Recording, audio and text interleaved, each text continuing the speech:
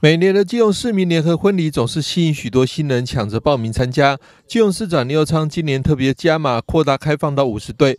不过，原本预定六月二十二号举行的基隆市民联合婚礼，却因为国内新冠疫情大爆发而暂缓，让不少新人及家属担心联合婚礼会不会取消。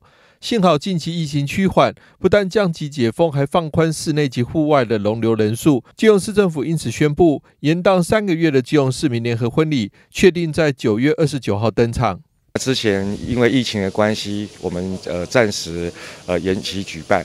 那现在因为疫情稍微已经降到二级，那户外的指引也到三百人以内哈。那我们当时担心，因为我们五十对新人，如果只有五十对新人，其实就违反了呃防疫的规定，就是一百人以内的呃相关规定。那现在大概中央的防疫值已经恢复到三百人以内，所以我们决定在九月二十九号呃恢复举办市民联婚礼。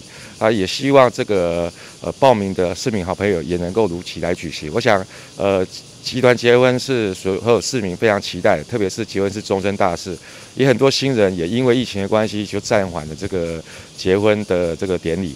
呃，我们也从善如流哈，那希望让这个所有报名的市民的好朋友，呃，所有报名的新人。有一个难忘的这个集团结婚的一个呃记忆哈。举办地点能维持在修复完成的历史建筑正滨旧议会大楼进行。主办的民政处方面表示，将做好相关防疫工作，希望让参加的新人与家属能拥有最美好的回忆。在这个相关的防疫指引的部分，我们也会按照相关的规定来举办。那所有的防疫措施，我们会让所有新人安心哈。那所有的呃观礼的。呃，保卷也能够安心。民政处方面补充表示，相关的贺礼及二十组游轮礼等奖品都维持不变，还有免费的婚纱照拍摄，希望让新人们以最美的姿态迎接人生中最重要的一天。记者张启腾，记者报道。